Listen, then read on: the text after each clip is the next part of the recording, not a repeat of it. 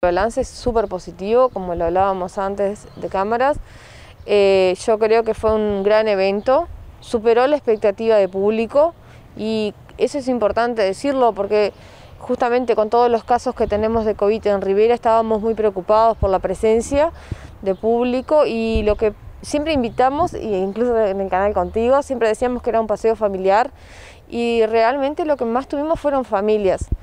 Y a mí me gusta mucho que vayan los niños y que se prestaba además por el tema de, Guillermo Lagune, de la exposición de esculturas de él. Y hubo una gran presencia de niños en la feria y el protocolo sanitario que salió impecable desde el principio, el primer momento, cuando todavía enseñábamos cómo sería el circuito y todo lo demás la población se adhirió muy bien a lo que era la propuesta sanitaria, al, distanciamiento social dentro de la feria. Eh, no tuvimos ningún inconveniente, nada, no hay eh, nada a destacar o a decir, ah, un día, no.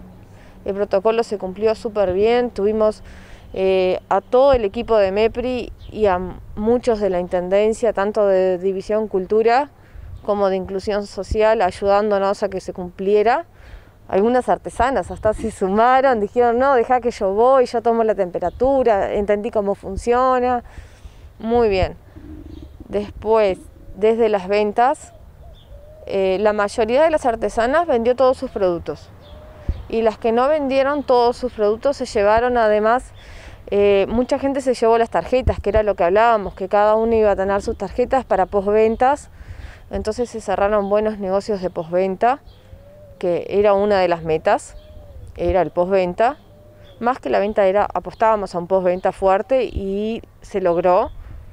El Second Hands adulto e infantil fue, yo diría, una de las mejores sorpresas también que tuvimos en la feria, porque le fue muy bien a las dos propuestas. Y bueno, se formaron muy lindos lazos con nuevos clientes en, en todos. Em, a la entrada, no, sé si recuerdan, pero estaba, eh, estaba el proyecto de tambores de la Intendencia y fue una alegría porque mucha gente fue y tocó los tambores.